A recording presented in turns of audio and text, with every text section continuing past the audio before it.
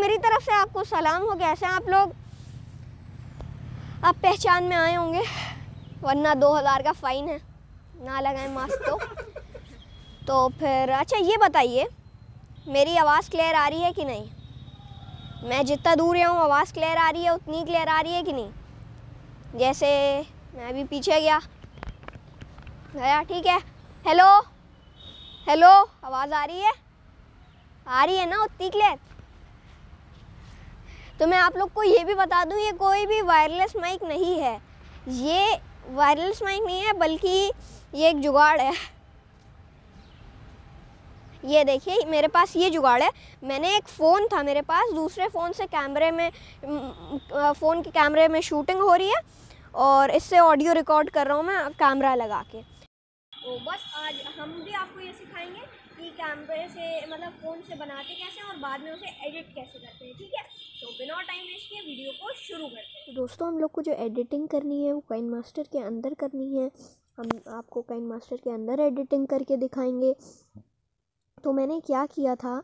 मैंने जो है, एक फ़ोन से दूसरे फ़ोन में शेयर किया था। डॉक्यूमेंट फॉर्म में वही रिकॉर्डिंग ठीक है, मैंने रिकॉर्डिंग सेंड कर दी थी। अब उसके बाद आपको क्या करना है? उसको एडिट करना है। तो एडिट करने के लिए आप काइन मास्टर मैंने बता दिया, मैं तो यूज़ कर रहा हूँ, आप पावर डायरेक्टर या फिर और भी एप्लीकेशंस यूज़ कर सकते हैं। तो चलिए गाइस अब आपको हम लोग दिखाते हैं कि एडिटिंग कैसे की जाएगी मतलब ऑडियो के साथ और वीडियो को मिलाने में। तो एडिटिंग के लिए, दोस्तों मैं काइन मास्टर में गया और मैंने अपनी वीडियो क्लिप चूज़ कर ली। अब आप लोग ये सुनिएगा आवाज़ इसकी।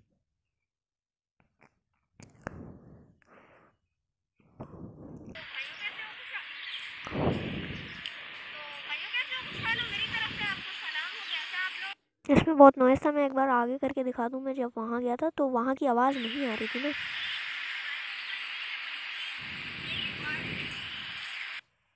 देख रहे हैं कितना नॉइस है। अब इसकी आवाज़ को हम ज़ीरो कर देंगे, इस तरह से। देख रहे हैं? फिर, टिक टिक पे क्लिक कर दिया। अब अब आप लोग सुनिए। कोई आवाज़ नहीं आ रही है। है ना? देखा आपने? अब हम जाके ऑडियो में अपनी जो चाहिए थी इसमें ऑडियो मेरी, हमारी थी, वो हम ऐड कर लेंगे इसमें। दिख गई? ऐड कर लेते हैं चलिए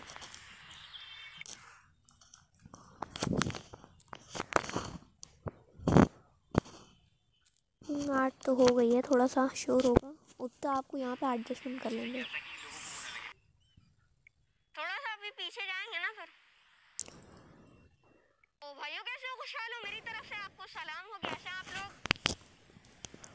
आप पहचान में आए होंगे, वरना दो हज़ार का फ़ाइन है। तो मुझे पता है ये आवाज़ सही नहीं है, इसकी जब आप इसे एडिट करेंगे और एडजस्ट करेंगे तो ये ठीक हो जाएगा थोड़ा सा। तो आप लोग एडजस्ट कर लीजिएगा, फिर ठीक हो जाएगा।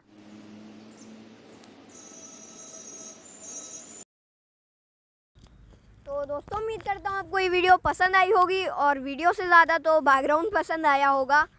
और मैं आपको पीछे दिखा दूँ जाके, ये ईयरफोन से शूट हो रहा है, आप भी कर सकते हैं। उतनी अच्छी क्वालिटी नहीं आएगी जितना माइक का है, वो माइक के हिसाब से आएगी और एयरफोन के हिसाब से।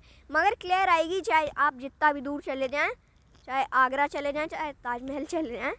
तो जितना भी दूर जाएँगे, आवाज़ आएगी बस। आपको वही करना है जो हमने आपको जुगाड़ बताया है। तो बस, उम्मीद करता हूँ आपको ये वीडियो पसंद आई होगी और अगर आपको ये वीडियो पसंद आई है तो लाइक कर दिए, हमारे चैनल को सब्सक्राइब करके बेल आइकन दबा दीजिए। बस, आज के लिए इतना ही। आज की वीडियो यहीं पे ख़त्म करते हैं।